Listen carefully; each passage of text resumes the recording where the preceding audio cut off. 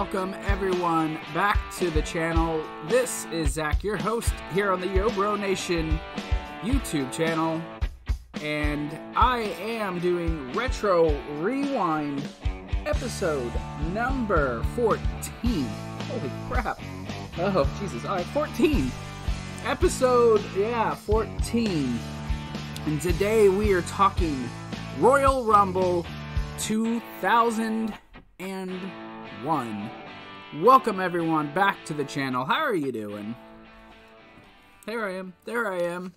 Here I am.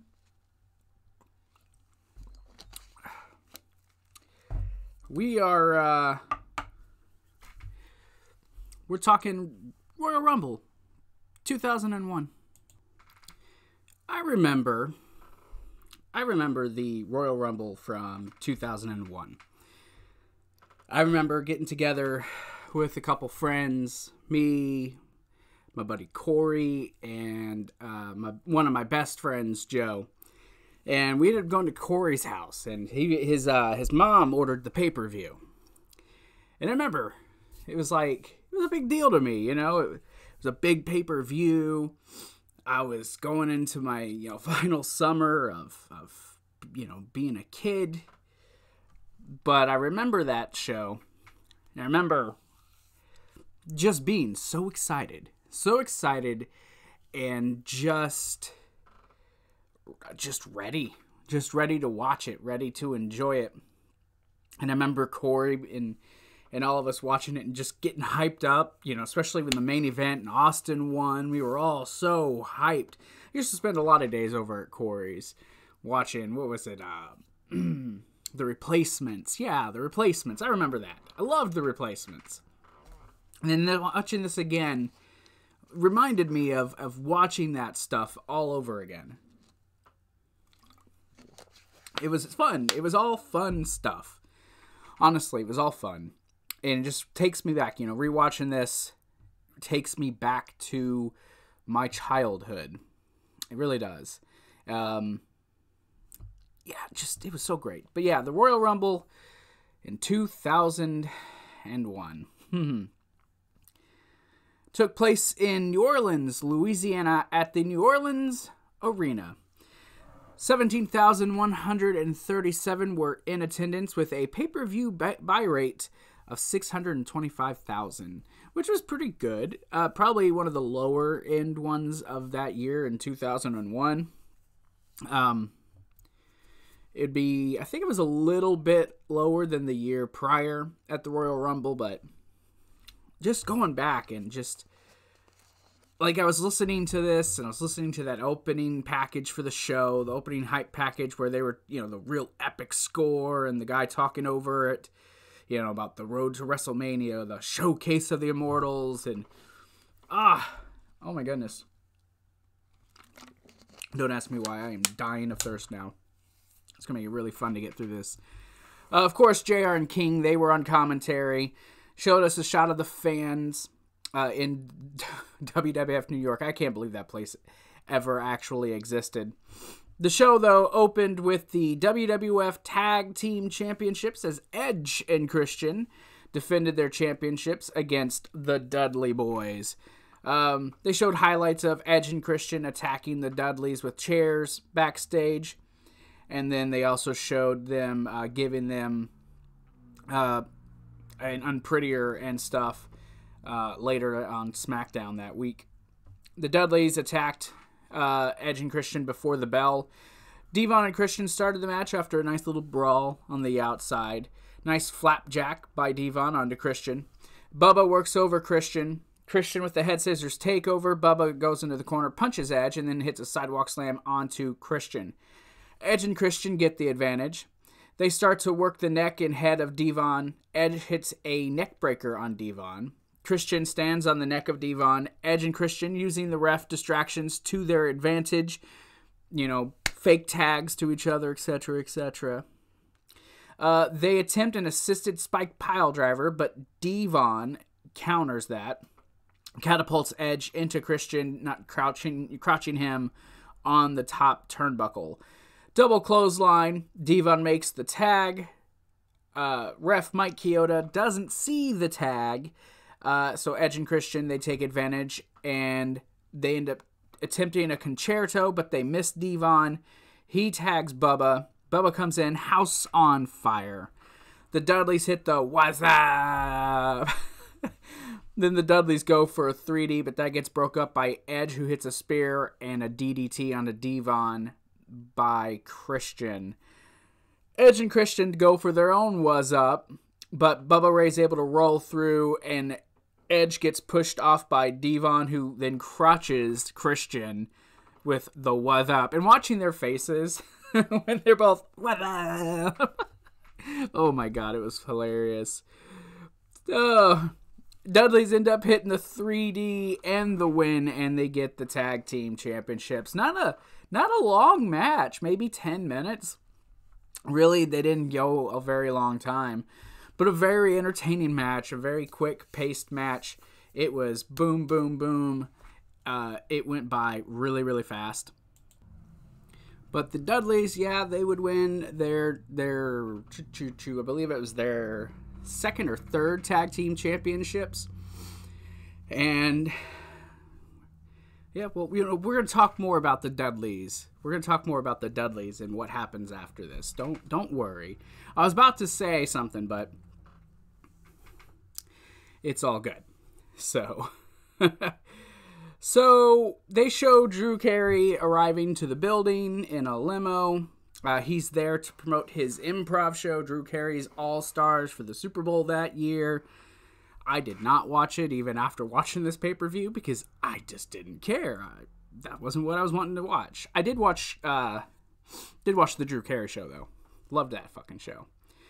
Um, shows an interview with Mr. McMahon from earlier in the day on Heat, talking about Austin and Triple H's altercation, how neither one was really at fault, so both men would receive the opportunities that they were supposed to get that evening, and then they'd go to Triple H. We see Triple H and Stephanie, they're backstage, they're talking about the title match, Triple H about how important the championship is to him, and, you know, Stephanie's going on about how she understands. So Drew Carey comes in. Apparently, he's friends with Triple H. Um, he's looking for Vince McMahon. Stephanie decides, you know, we have a, a lot of real beautiful women here. And he's like, oh, yeah. Oh, yeah. The WWF does. Divas are some of the most, what did she say, sexy women in the world. Ah, God, I hated how they treated the women back then.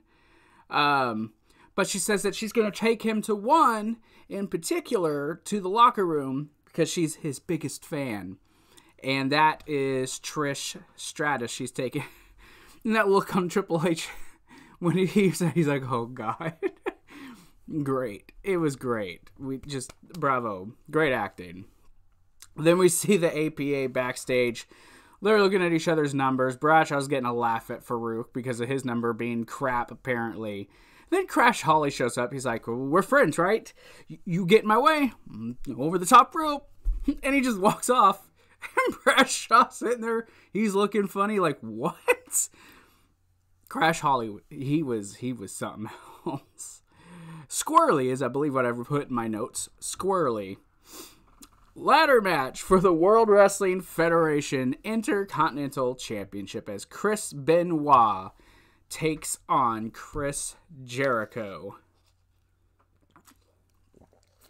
This is uh this is a continuation of their rivalry that really got going uh, back over the summer of 2000 and these guys you know they're getting into it again this time for the championship and they went right at it right from the get-go um, they go to blows chops in the corner by Chris Jericho. Benoit goes for the crossface, but Jericho counters that into an attempt of the walls. Benoit escapes that. Nasty shoulder breaker by Chris Benoit. Um, this, like I said, this was very physical right right from the start. These guys were physical with each other. Uh, they're on the outside. Benoit whips Jericho into the post. Jericho misses a baseball slide, gets tossed into the steel steps. Benoit sets up a ladder first. Jericho then pulls him down. Jericho uses the ladder as a long dart right into Benoit's face. A lot of shots to the head in this match. And, well, when you think of what happens just years later, really, really makes you look at this this whole match differently and kind of makes you cringe a little bit. Kind of makes you cringe a little bit. so Jericho puts the ladder on top of on the top rope, attempts to whip Chris Benoit into the ladder, but Jericho it gets reversed and he ends up face first into the ladder. Suicide dive attempt by Benoit countered by Jericho with a chair shot. Again, it just when you, know you when you know you know and then you can't unsee it and it's like straight like this. It was one of the most brutal spots I've seen. Like Jericho straight just whoosh, right in his freaking head, and Benoit just dropped like that. Where was I? Um. So yeah, Jericho goes to use the ladder uh, by dropping it on him. Um, Benoit's laying on the barricade. Jericho goes to fall on it, and he misses uh, gets smashed with the ladder, and then Benoit gets a chair shot of his own. Benoit sends Jericho face first into the ladder. Side Russian, uh, side Russian leg sweep off the top rope by Jericho with Benoit stuck in the ladder. That was a nasty bump. Benoit counters a ladder attempt by Jericho with a drop kick. Benoit face first into a ladder off of an Irish whip. Jericho drops off the apron, sending the ladder into Benoit's face. Basically, the ladder was like this. Jericho drops it right into Jer- right into Benoit's face. Drop kick off the top rope by Jericho. Benoit dumps Jericho out with a belly to back. I mean, Jericho lands right on the high and tight on the back of his neck. Jericho, um, Jericho with the walls of Jericho on a ladder. Then he just kind of pushes Benoit off. I thought that was it. Match keeps going. Jer- Benoit barely pushes it over with his foot. Uh, Benoit, um, more ladder offense. Jericho pulled off the ladder into a crossface by Benoit. It was a nice little exchange there. Benoit runs Jericho into the post, shoulder first. And then in the corner, they're both heading to the top of the ladder. Jericho attempts, attempts a superplex but gets shoved off. Benoit goes for the diving headbutt and misses, and he connects with all of that. He connected with all of it. And it looked like it hurt. Uh, Jericho sets the ladder up over Benoit, pinning him down chest first. He goes, he's just within reach of the ladder, and then it gets pushed over, and Jericho hangs hangs himself on the ropes, basically. Benoit gets on the ladder. He's climbing. Chair shots by Jericho. He pushes Benoit off. He falls, landing on the outside. Jericho climbs the ladder, retrieves the championship, and becomes a three time intercontinental champion. It was a match. And it was a tough match to watch at times. Like again, with when you, with you, if you know what, if you know, you know, right? and seeing some of those shots Benoit was taking, like the diving headbutt, the chair shot off the suicide dive, the multiple shots to the head with the ladder. Um, yeah, it was rough to watch, but super, super entertaining. Like it was a very entertaining match, despite you know everything going on. Um, one of the best ladder matches I can honestly say it was one of the best matches on the night, for sure. Um, and there was a couple ladder matches that year, and it was it was top top five for the decade, uh, in my opinion, my humble opinion. Uh, but Jericho winning was definitely the right call. Um, but this this would not be the end good sirs, but I'll get to it. Uh, we see Drew Carey and Trish Stratus backstage talking, and he's kind of being flirty. And she says, "Oh, she's kind of involved." And he's like, "Oh, okay, no problem." And Vince comes in, and they plug his pay per view again. Drew Carey, Celebrity All Stars, um, and he somehow convinces Drew Carey to enter the Royal Rumble. Oh yeah, Drew Carey's in this mother. oh yeah. And it works. He says, okay, sure. And all because he uses Trish. Like, oh, it, would be so manly. I'd be so impressed. And Trish's like, oh, okay.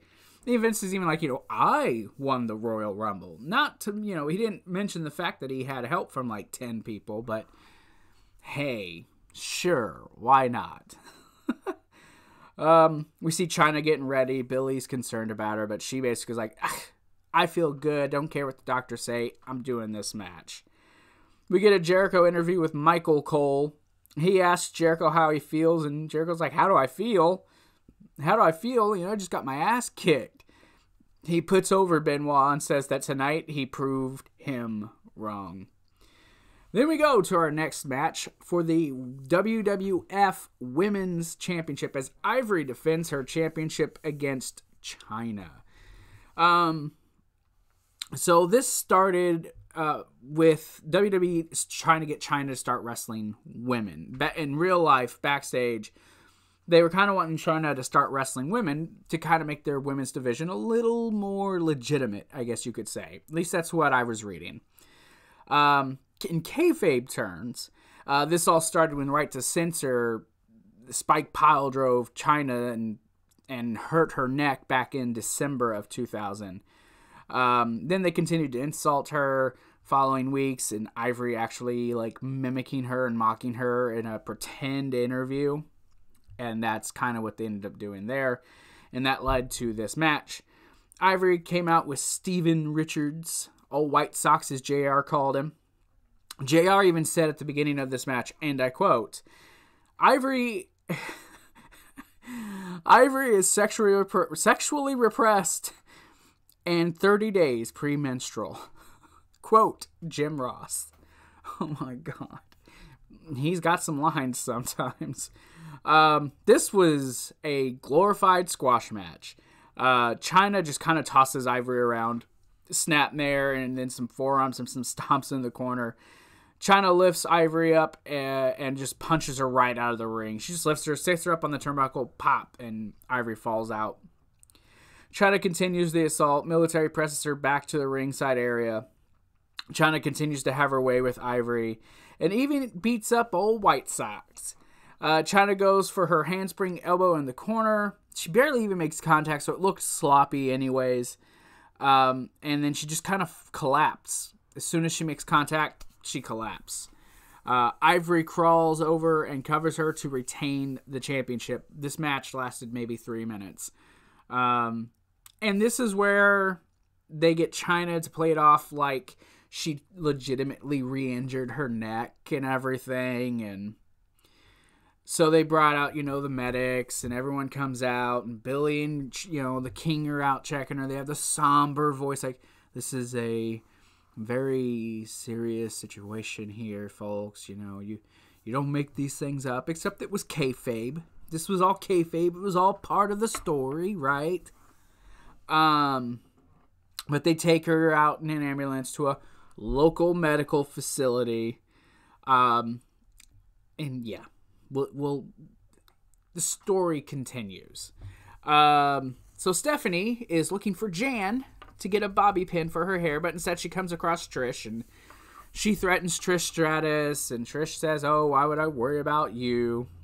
Then we see Drew Carey getting his gear, and he meets Kane and of course Kane's not pleasant, and it's foreshadowing for what's to come later. Then we see Lo Down, which is Chaz and D'Lo Brown with Tiger Ali Singh. They're arguing about who's going to be in the Rumble, D'Lo or Chaz. And D'Lo's like, "Look, I've been in it four times. I know what I'm doing. I can win this." And Tiger's all like, "No, no, no. I'll make the decision." And then Mr. McMahon comes in and he says that he's taking that choice away from Tiger, and it will be neither of them. They have been replaced, and they are of course upset. Tiger asks, "Who is this great superstar who is replaced by men?" And he goes. you can tell he couldn't do this without being and having a straight face. Drew Carey. and Tiger with the line of the night. Who who is Drew Curry? and Vince just shakes his head and walks away. Then they show uh, a, a, a promo of the fans and who they are choosing to win the WWF Championship match. So then we see Triple H pumping himself up in front of a mirror. Then Kurt Angle coming to the ring backstage. So, or the next match is for the WWF Championship as Kurt Angle with Trish Stratus defends his title against Triple H, who's with his wife Stephanie McMahon Helmsley. This all started with Triple H being named number one contender by Mr. McMahon after Triple H cost Steve Austin the title a few weeks before that on Raw, uh, and after losing the Hell in a Cell match in December. But the match was more focused on the Vince, Trish, Stephanie aspect of everything and the fact that Vince had Linda sedated and you know Stephanie was jealous of Triple H, but Vince was very or not, Stephanie was uh, jealous of Trish and Mr. McMahon was very much wanting to do things with Trish, but Trish would say, "Oh, we're just friends. Friends with your boss." Okay it was around this time Trish barked like a dog. Yeah, that's a thing that's going to happen. Aren't you excited? I know I am. No? Okay. I didn't think so either. Um so yeah, really the most of the build was just around these three and then Triple H and Kurt were the side characters even during their own match, they were kind of the side story. And it was a fucking great match. That's the bad part. So this was also Triple H's first pay-per-view with his game, his the game theme by, by Motorhead. This was his first pay-per-view with that as its theme. Um so they lock up. Triple H goes for Angle's arm. Angle wrestles out of the hold. Uh, clothesline Triple H out of the ring. Angle sucks chance. Uh, they keep a nice slow pace. Uh, Angle works over Triple H's arm. He hits a series of suplexes, but only gets a two count.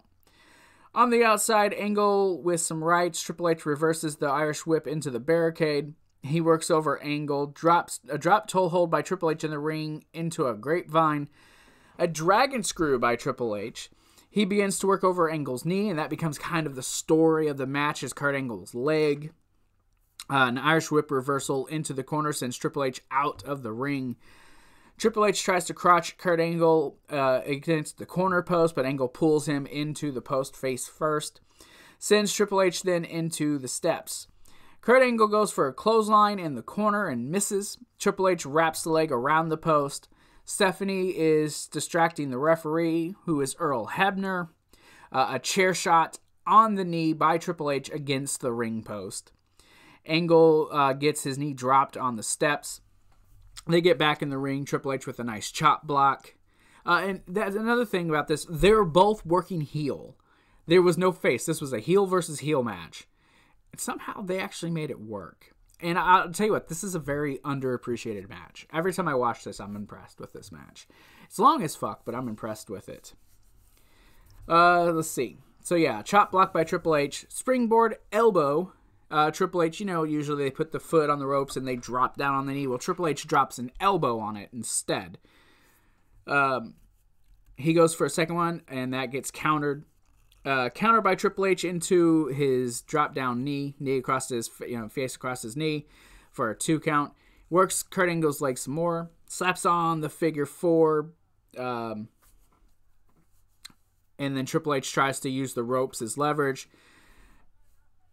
Trish tries to uh Trish tries to get involved. Oh yeah, and Triple H used a very old school Indian deathlock during this match too. That was kind of nice. Uh, let's see, where was I? Yeah. So Trish tries to get involved, and Stephanie and her they start to brawl, and then McMahon comes out, and they're brawling, and they're going here and they're going there. Um, Vince like picks Trish up, puts her over his shoulder, and Stephanie pulls him down, and he's trying to keep him. So they fight all the way out of the ring, and this takes probably about two or three minutes time. Like, and the whole time I guess Triple H is watching this. So Triple H he goes to turn around, he gets uh, caught with a small package for only a two count. He goes back to the knee. Triple H gets rammed into the ring post. Some fists back and forth between the two guys, and then Kurt Angle hits a really good, beautiful looking DDT. Uh, starts to build some momentum, hits a German after an atomic drop, side Russian leg sweep. Angle goes up top, gets low, blowed by Triple H, who then hits a Razor's Edge for a two count.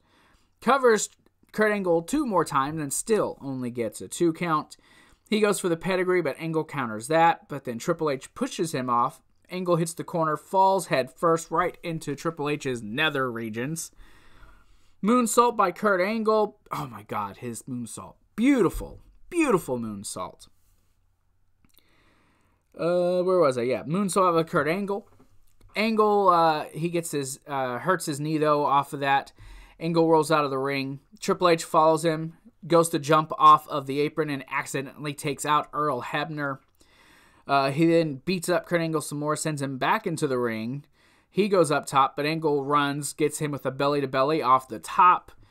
There's no ref though to make the count when Angle goes for the cover. So Angle goes to get Hebner, but he gets rammed into it. Hebner, who gets rammed into the steps. Triple H gets the title belt, uh, goes to hit Angle with it, but he gets caught with a belly to belly overhead release. Then Kurt Angle goes with the shot with the title, but that's countered by Triple H, who hits the pedigree. He goes for the cover. The ref is still down, so Triple H gets out of the ring to wake up Hebner, but then Austin comes out and attacks Triple H. Austin with a shot with the title, which busts Triple H open. Uh, he gets Hebner up, gets him in the ring, then comes back into the ring after he's about to leave, hits Triple H with a stunner. Triple H always took that stunner like a champ. Like he always made it look like it really was fucking him up. Um, Austin leaves. Angle makes the cover for the slow one, two, three, and Kurt Angle retains the championship. Fantastic match. Um, it just sucks that a lot of attention was taken away from this match even after it happened with the whole triple or with the whole Stephanie Trish Vince thing. It it it detracted from the match quite a bit while they were out there. But I would, I would say even with that happening, the match itself was great. It really was. It was a really good match. Uh, both guys really worked their asses off. This was probably one of their best matches. Um, and you know, it's funny when you look back on it, seeing Kurt Angle, you know, beat the Undertaker and then beat you know, Undertaker, Triple H, Austin, Rock, everyone inside that six pack Hell in a Cell, right? Then to go on and beat Triple H one on one, and then would face The Rock at No Way Out. Imagine, imagine if he had won that match, and had gone on to WrestleMania to face the guy who won the Rumble. That'd been that'd been quite a title run. But I'll get back to that. Oh, don't worry, I'm coming back to that. Yeah, but the match was great. Triple H wakes up after having you know his ass handed to him, and he's very angry. So this is not the last time we're going to see Triple H tonight. So we see Rikishi and the Undertaker. They're backstage warming up separately, not together. Um, Kevin Kelly. I forgot Kevin Kelly was still in the company at this point, but he interviews The Rock. Uh, the Rock compares the Royal Rumble to jambalaya talks about Taker and Kane. Are they together? Are they not together? Does Undertaker want to buy Kane a box of chocolates? Is Kane or is Kane going to buy the Undertaker a box of chocolates? Is Undertaker to rub Kane's big red nipple? The Rock was being The Rock. Uh, he talks about the possibilities of who it could be him and Undertaker, him and Crash Holly, him and Stone Cold Steve Austin. And he declares himself the guy who's going to win the match. And that leads us to the 30 man Rumble. And this Rumble match is very much focused around five particular individuals, that being The Rock, Austin, Taker, Kane, and Rikishi. All five who were inside well, four of those five men were inside the Hell in a Cell match the previous month at Armageddon. And at some point, I'd like to review that pay per view, but that'd be one hell of a match to try to keep up with. No doubt. Uh, 90 second intervals. So this is going to be pretty rap- rapid. I, I took minimal notes for this. Minimal notes. So Jeff Hardy enters at number one, Bull Buchanan in at number two. Jeff starts fast, Bull uses his strength. Matt Hardy comes out at number three. They work together, they eliminate Bull Buchanan. Of course, then they have a fight. Faarooq comes in at number four, beats up the Hardys, but they work together to ultimately eliminate Faarooq. Matt then tries to eliminate Jeff, so they come to blows again. Then Drew Carey at number five. He's taking his time getting to the ring. He's, you know, taking it slow. Uh, the Hardys, they're fighting. They're in the corner trying to eliminate each other. Jeff, he drops Matt. Matt holds on by. Jeff's got like this shirt wrapped around his waist. He Jeff uh, Jeff gets grabbed and pulled off simply because he's wearing a sweater. Uh, and Drew Carey celebrates like he was the one who won the match. then Kane enters at number six. He comes after, you know, he takes his time getting to the ring. Drew Carey, you know, he's watching. Kane does his pyro, grabs Drew by the throat. Raven comes in at number seven, hits Kane with the kendo stick, and Drew Carey, he leaves. He is out of there. Raven with the fire extinguisher to the face of Kane after a sidewalk slam. Raven then gets attacked by Al Snow, who then ends up being number eight. And then the hardcore rumble begins. Uh, Al Snow with a trash can lid, um, shots to Kane, a bowling ball shot to Kane's ribs, and then a strike onto Raven. Uh, big boot by Kane. Uh, Al Snow and Raven then work together to try to beat up Kane. Perry Saturn comes in at number nine. Saturn works over Kane's leg. Kane then fights him off, press slam by Kane onto Saturn, and then they all chop Kane down. Steve Blackman in at number 10 uses his sticks on Al Snow. Weapons are being used in the match. Then Grandmaster Sexay comes in at number 11. He tries to eliminate Al Snow, but he gets cut off. Raven jumps Kane from behind. Kane gets pissed, eliminates Grandmaster Sexay with a trash can shot, knocking him out of the ring. Then it goes on to eliminate Al Snow, Raven, Perry Saturn, and Steve Blackman, all before Honky Tonk Man comes in at number 12, who then decides he wants to sing. Um, but Kane not having any of it as he takes the guitar and Colcox Honky Tonk Man, eliminating him. Then The Rock in at number 13. Rock and Kane, they go at it. Kane gets the advantage. Big clothesline by Kane and a big boot by Kane. The Goodfather in at number 14. He goes for the Rock. Rock with a series of rights sends the Goodfather out of the ring. He's eliminated. Kane back on the attack. Rock fights back. Kane hits a sidewalk slam, but then out comes Taz at number 15. Oh, and he's gone. Kane immediately grabbed him, set on the ropes, and knocked him out. So, hey, thanks for showing up, kid. I can't even. oh.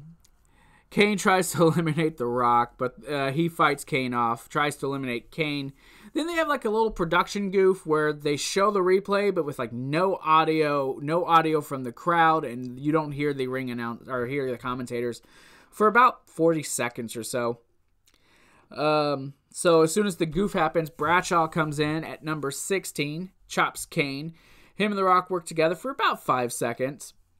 Big clothesline from hell onto The Rock. Rock, though, does fight, ba- fight back, and Kane gets The Rock and tries to eliminate him. Albert in at number 17 stops the rock, stomps the rock in the corner. Kane and Bradshaw they work together on Albert.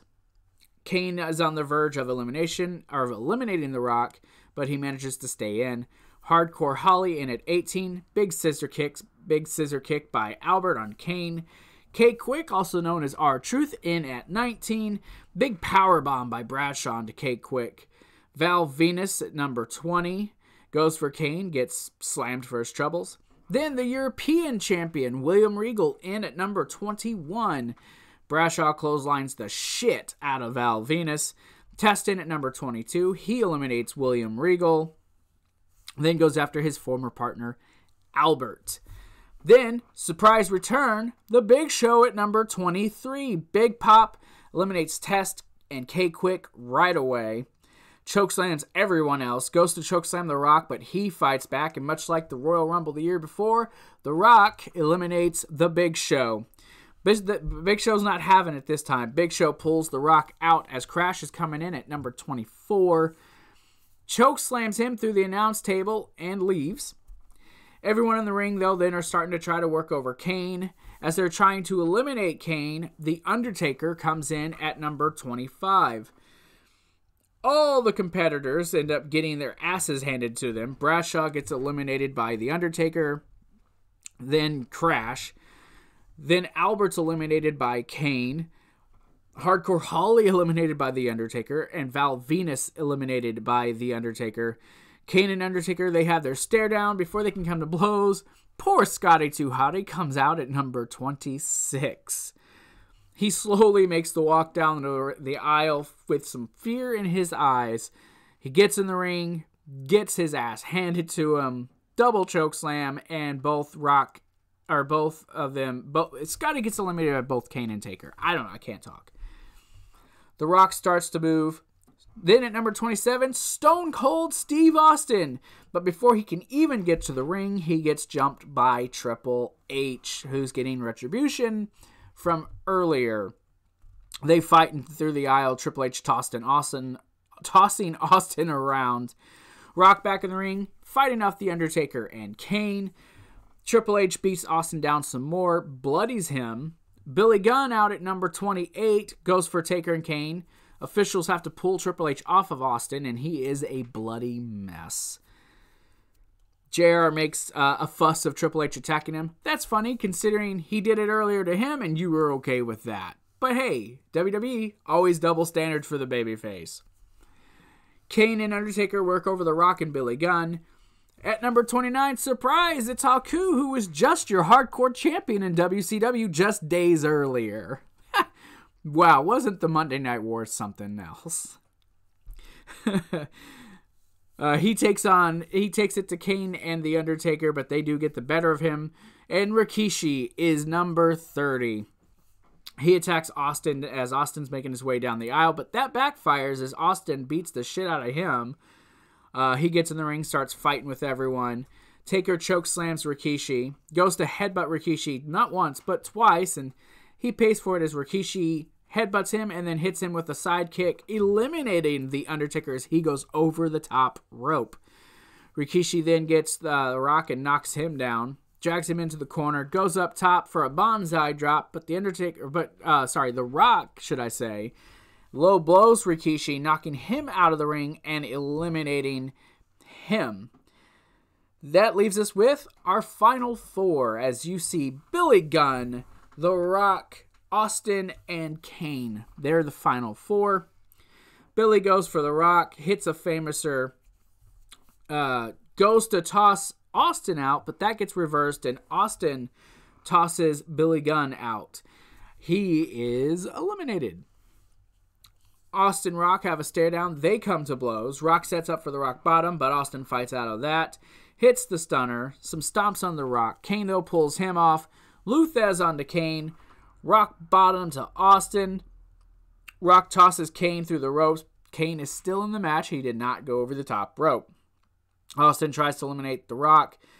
Rock does get out of that, reverses it, then tries to eliminate Austin, but then Kane dumps The Rock out, eliminating him, giving Kane his 11th elimination of the match, which at this time was a Royal Rumble record. And on top of that, Kane's been in this match for damn near an hour. So we're final two. It's Kane and Austin.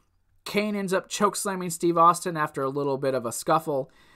Um, he sets up the tombstone, but Austin gets out of that. Low blows Kane, as JR calls it, an XFL like punt.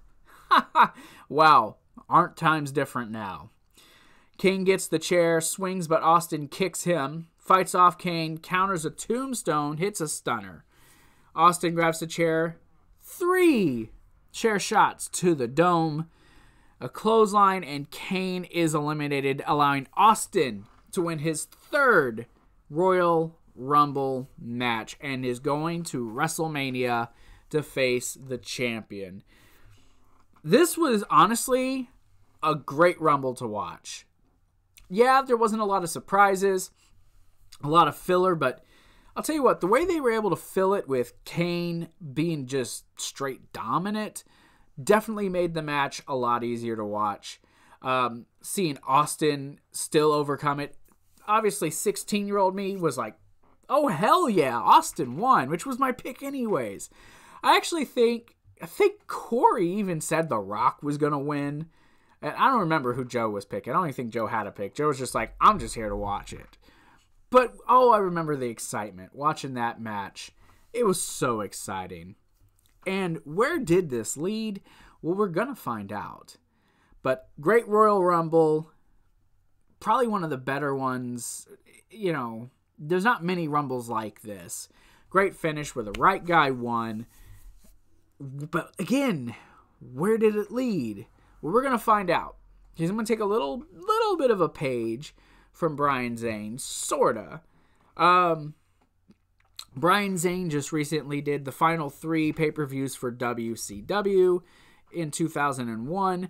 Well, I'm going to do the first three pay per views of 2001 for the WWF, starting with this, the Royal Rumble. Then I'm going to do No Way Out in February, and at the end of March, I'll do WrestleMania X7, a trilogy of pay per views that started off a good started off the year good, and then things kind of downtrended a little bit as the end of the Attitude Era came and went, and we didn't even notice. So that's what I'm going to do. And of course, you guys get to vote. Uh, you guys have voted for my next pay per view, uh, and you guys can find that out shortly here in a few days. Uh, I don't have the list in front of me, but oh wait, yes I do. Your guys' votes were for Sin 2001, the Royal Rumble 1992, or Guilty as Charged 1999. You guys can vote for that. That will be what you guys pick. Oh, and Souled Out 1997. That is what you guys get to vote for for the next pay per view this month. So that's kind of what I do. I pick one, you guys pick one. That's how I'm going to do it every month. So in about two weeks, right? Yes. And on the 29th, you guys will pick the next pay per view that I will review. And I will see you guys then. That's your options. Sin 2001, the Royal Rumble 1992, Guilty as Charged 1999, or Souled Out 1997. You guys pick next, and I will review it. But I'm Zakk. Thank you guys for watching. If you like this video, hit that like button. Remember, subscribe to the channel and join the nation. So, until next time, remember, stay safe, stay healthy, and above all else, join the nation. I'll see you later. Yo Bro Nation! Join us at teepublic.com forward slash Yo Bro Nation for all new merch lineup like the Recess Still Ain't Old, the Yo Bro Nation Entertainment t shirt, the Sidekick Susie Stranger Things shirt. It's pretty sweet shirt. The Yo Bro Nation swirly shirt. How about I Love Yo Face Sidekick Susie t shirt? Ooh, or the Rainbow Sidekick Susie shirt. Yeah, yeah. Also, this exclusive limited time offer, we got a Forever Serenity special sale! Look at that. Isn't that pretty cool? I think it's pretty awesome. Hope for Amby special sale. Help support a friend who really needs the help. Three different t-shirt designs. We got the Hope for Amby Black Angel t-shirt the Hope for Amby Do You Want to Beat Up Cancer t shirt. Wow, oh, that's pretty nice. So, yes, shop with us now at teepublic.com forward slash YoBro Nation. Get all your shirts. Stay safe, stay healthy, and above else, join the nation.